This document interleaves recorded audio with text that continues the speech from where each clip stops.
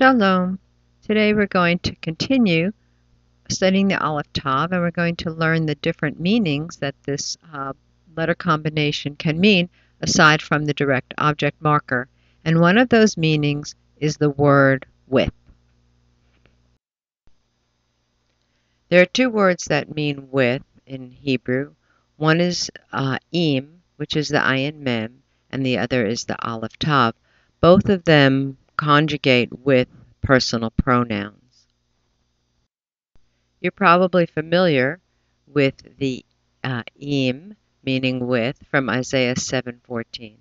Therefore Adonai himself will give you a sign. Behold, a virgin shall conceive and bear a son, and shall call his name Im Anu El. Im with, Anu us, El God. God is with us. Some of the uses that we find for the uh, where the Aleph Tav must be translated as with in Song of Songs 4:8, come with me, et with me from Lebanon, my spouse, with me from Lebanon, look from the top of Amanah, from the top of Shenir and Hermon, from the lion's den, from the mountains of the leopards. In Genesis 24:55, and her brother and her mother said, Let the damsel abide with us, Itanu, a few days, at least ten. After that she shall go. And we're going to look at a chart of these um, conjugations. In Genesis 34:16, then you will then will we give our daughters unto you, and we will take your daughters to us, and we will dwell with you, itchem, and we will become one people. So we're looking at a chart of the conjugations of the two different uses of Aleph Tav with their personal pronouns attached. So on the right we see the conjugation for the Aleph Tav when it is used as the direct object and on the left when it is used with with and we can see that in the most cases, they are different, except for in the case of all y'all. Just talking now about the letters. They're pronounced differently. They're both pronounced differently. So in the direct object marker, if it's something having to do with me, then it's OT. But if, if it's with me, then it's ET. And we see the direct object marker has that vav. And we're going to talk about um, how that vav appears in another lesson. The only ones, if you take out all the vowels that look exactly the same, are with, all y'all, uh, plural, feminine, and masculine. But generally, we can look at them and see how to translate this combination of letters.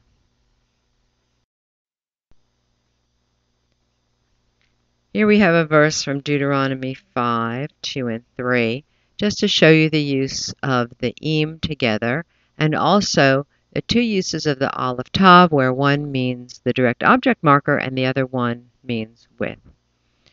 So in the first verse, uh, Deuteronomy 5, 2, Yahweh Eloheinu karat cut imanu with us brit a covenant in Horeb. So here it is clearly with, he cut the covenant with us, Imanu. In the second verse, uh, let's go down to the uh, last uh, preposition there, or the Aleph Tav, uh, where it says Itanu. So it says Ki Itanu Anachnu, with us we. So the itanu and the imanu from the first verse both mean the same with and they're conjugated for us. In the middle line here, what we're looking at is lo et avotenu. And, and we can't translate this as a direct object because we're talking about cutting a covenant. So if you make that Aleph Tav there a direct object marker, then basically It's saying that Yahweh did not cut our fathers. Well, it's not about cutting our fathers. The second Aleph Tav is et habrit. That is the direct object marker. He cut what? The covenant, the brit. So the first Aleph Tav in that second line there, Lo et avotenu, we have to translate it in English as with. Not with our fathers, cut Yahweh. What? The covenant. So we can see in the English, I put the Aleph Tavs in there, and you can see clearly just by the meaning of it, the first one has to be with, and the second one is a direct object marker. Not it, not with our fathers. Cut Yahweh, what? The direct object, et, the covenant, et habrit. Even so, this is not perfect, as we see in Isaiah 59:21. As for me, this is my covenant with them.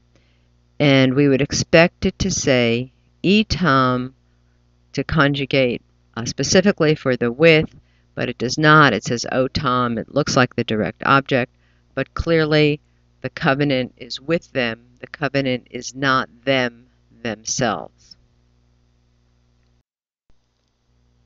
So we're trying to decide when we will translate this Aleph Tav, even among the um, the standalone Aleph Tavs, when will it be the direct object and when will it be the, uh, the word with.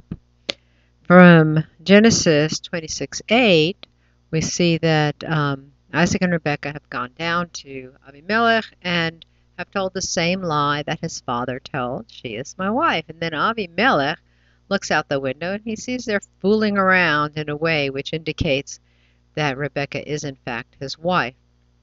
So we see the Isaac, mitzachek, which is translated as sporting, et Aleph Tav Rivka. Uh, sometimes the prepositions uh, from one language to another can really vary. For example, in Spanish, people say, I am married con so and so with that person. We say married to, they say, they use the word with. Here we can imagine, suppose Isaac was tickling her, then uh, we would not need a preposition either. But because of the verb sporting, we do in English have to use the word with. Sporting with Rebecca. So it's kind of in the sense of a direct object marker, but not exactly.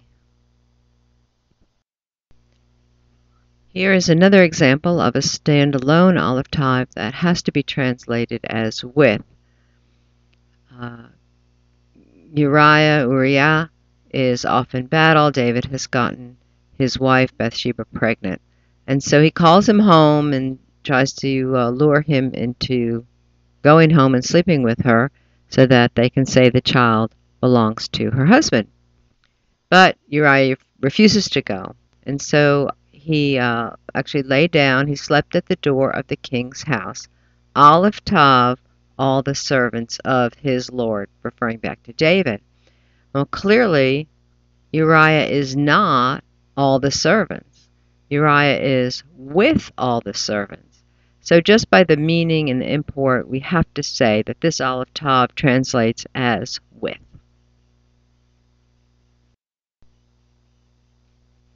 So all this brings us to a uh, kind of an interesting situation in Genesis 4:1.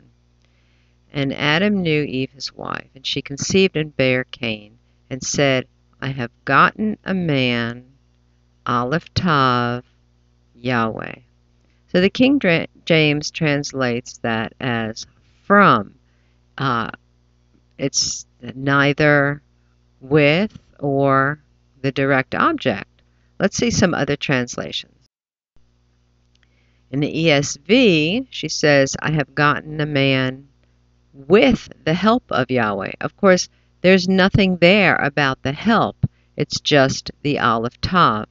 Uh, in the NASB, I have gotten a man child, again, with the help of Yahweh. And the JPS is the same thing with the help of Yahweh.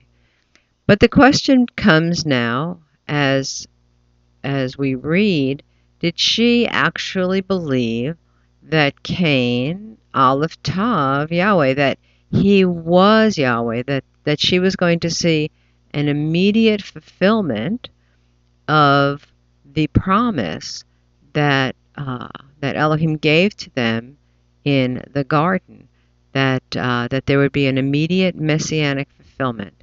I don't know. It's just a thought, something to think about with this positioning of the Aleph Tav.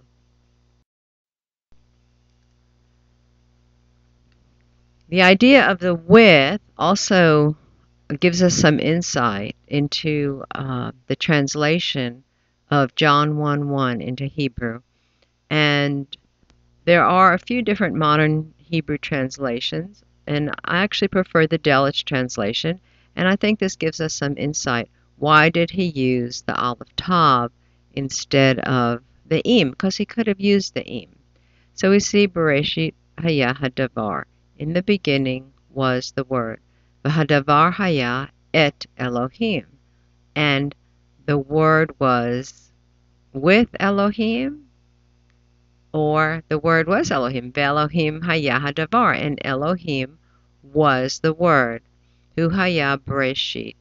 He was in the beginning what? With Elohim, or he was Elohim. It's a direct object. In the beginning was the Word. What was the Word? It was the Aleph Tav in Bereshit 1 1. Bereshit bara Elohim Aleph Tav. In the beginning, God created, and there was the Aleph Tav from the very beginning. As Yeshua said, I am the Alpha and the Omega, I am the Aleph and the Tav, I am the first and the last. I have been there since the beginning. Next time, we'll continue on with uh, some more meanings. There are three more meanings for the word, which is Aleph Tav. In the meantime, Tasimata Inayim al Hashemayim, keep your eyes on the sky, your redemption draweth nigh. Shalom.